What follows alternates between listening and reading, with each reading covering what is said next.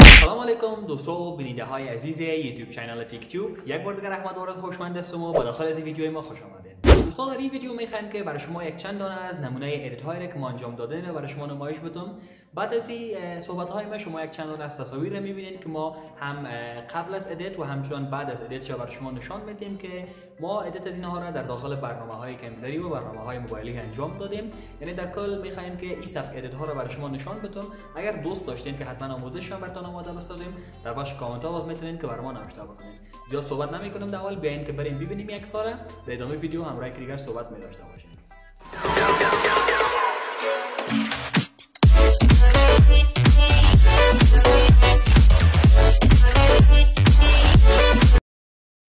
You say I make you nervous, a tragedy, I'm a beautiful disaster, a reckoning. You wonder how I got this way. Think I'm someone to be saved, someone to clean up and tame. Oh, some things never change, never change. Oh. You think I would look pretty on your arm once you cover up my bruises and battle scars, but it always ends the same. Can't bear the things I've had to face. Got you crying on your knees in pain.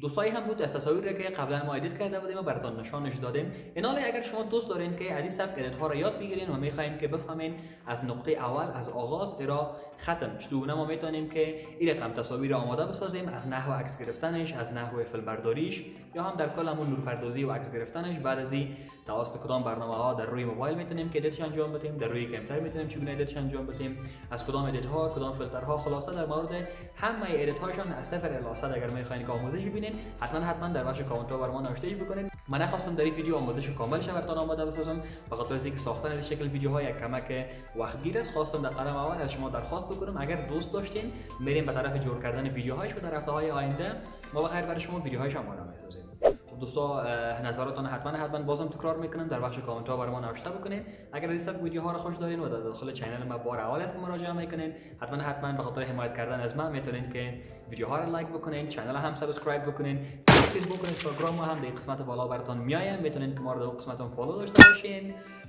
با ویدیوهای جدید میبینیمتون برای فعلا وقتتان